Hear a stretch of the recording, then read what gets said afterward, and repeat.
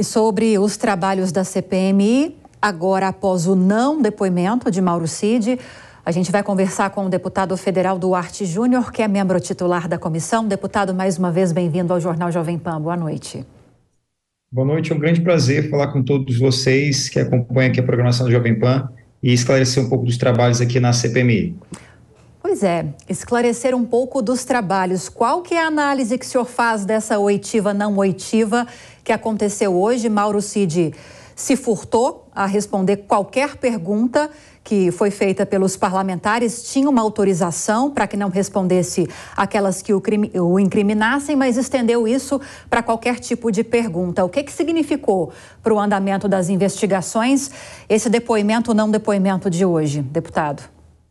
Olha, é lamentável, porque, de fato, a democracia ela garante a todo e qualquer cidadão não constituir prova contra si.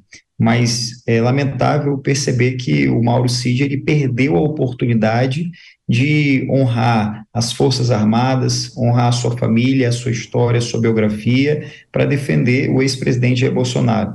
É claro, é inequívoco que ah, houve sim um planejamento, de que houve um financiamento para que esses atos fossem praticados. Durante os questionamentos, nós apresentamos troca de mensagens entre ele e o coronel Lawande, entre a sua esposa Gabriela Cid e a filha do general Vilas Boas, falando da compra de cachorro-quente, da compra de descartáveis, é, de possíveis financiamentos para que as pessoas fossem para os quartéis, de convocação para que as pessoas viessem até Brasília para mobilizar, para ocupar os espaços, para reivindicar, para dar força ao ex-presidente Jair Bolsonaro para um golpe de Estado. E ele perdeu a oportunidade de esclarecer esses fatos, é, não trouxe nenhum tipo de informação, e quando eu digo que é lamentável, é porque ele coloca agora no centro do debate a sua própria esposa a Gabriela, porque gra graças às investigações da Polícia Federal, nós temos ali prova dessas mensagens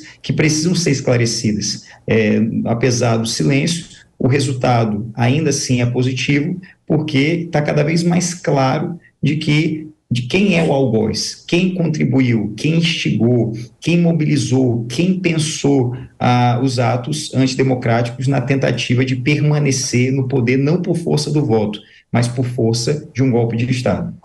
Além dessa troca de mensagens é, que foi, ou dessas trocas de mensagens que foram encontradas no celular de Mauro Cid durante perícia da Polícia Federal, Aquela minuta de decreto de garantia da lei e da ordem também foi alvo de alguns questionamentos de parlamentares, embora nenhum deles tenha sido respondido. Agora foram aprovados alguns requerimentos durante a sessão de hoje, né, deputado, é, autorizando a quebra de sigilo telemático, bancário, fiscal, no caso de Mauro Cid, sigilo telemático. Espera-se que haja um acesso aos e-mails trocados por ele quando ele era responsável pelo e-mail da presidência da República, quando era ajudante de ordens de Jair Bolsonaro. Esse acesso a essas informações, isso vai responder de alguma forma a essas perguntas que hoje ele decidiu não se, se pronunciar sobre elas? Com absoluta certeza, por isso que eu digo que o tenente-coronel Mauro Cid ele perdeu a oportunidade de esclarecer esses fatos de, de trazer aqui a sua versão sobre esses fatos. Até porque a quebra do sigilo telefônico, do sigilo fiscal, a quebra do sigilo dos e-mails, das mensagens, são provas objetivas, provas inequívocas. Se está escrito ali, se houve a troca de mensagens, se houve o envio e recebimento de e-mail, não tem o que se questionar. Está lá, está provado, está no papel vale muito mais do que uma simples afirmação de uma testemunha.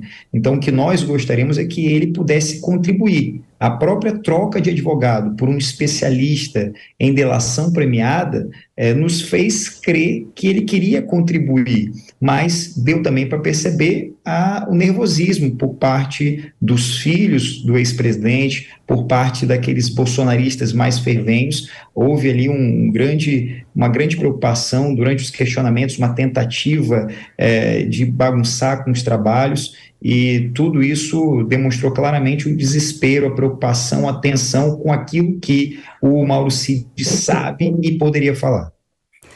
Deputado Dora Kramer, nossa analista, tem uma pergunta para o senhor também.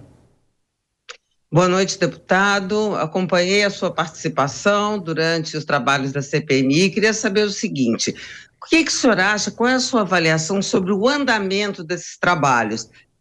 É preciso haver algum tipo de correção, alguma coisa que poderia ser ajustado para que os trabalhos sejam mais úteis ou não? Na sua opinião, está andando tudo como previsto e como deve ser? Olha, a minha tranquilidade ela deriva de estar do lado certo, agindo com base na lei, defendendo a justiça e o Estado Democrático de Direito. No entanto, os trabalhos podem ser bem melhor aproveitados.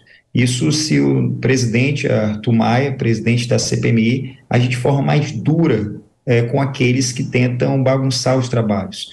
Existem personagens que já são personagens caricatos, o próprio deputado Abílio Brunini é, é, um exemplo disso. Toda reunião bagunça, faz piadinha, sorriso, se comporta como se ali nós estivéssemos é, num picadeiro e fosse um local para prática de humor. Não é o caso. Nós temos uma responsabilidade pois fomos todos eleitos num processo democrático por força da fé, da confiança das pessoas, da materialização dessa fé e da confiança que chama-se o voto. Está lá no parágrafo único do artigo 1 da Constituição Federal de 88, que poder emana do povo. E nós precisamos agir com seriedade. Os custos que eu represento para o Estado, pago pelos impostos do contribuinte, eu tenho que transformar isso em direitos, em trabalho.